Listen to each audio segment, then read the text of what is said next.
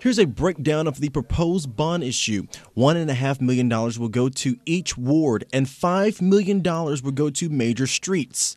One of the things that's occurred right now is the, the Highway 80 bridge has been out for some time, right?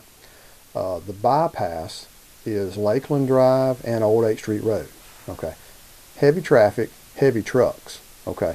They've really torn those streets up.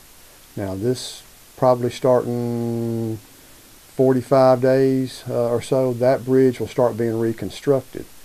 So hopefully by time that bridge is reconstructed, we'd be ready to repave those streets that are necessary to repave.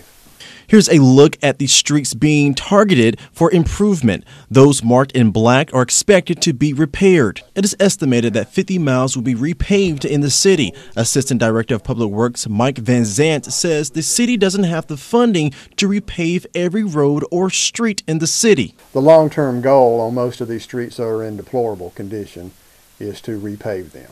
Okay, now we we don't have the funds to do it even within this bond issue all, but we will do it to the to the fullest extent that we can. The administration wants to make it clear that they are not asking for a tax increase with this bond issue. In Meridian, Nicholas Brooks, WTOK News 11.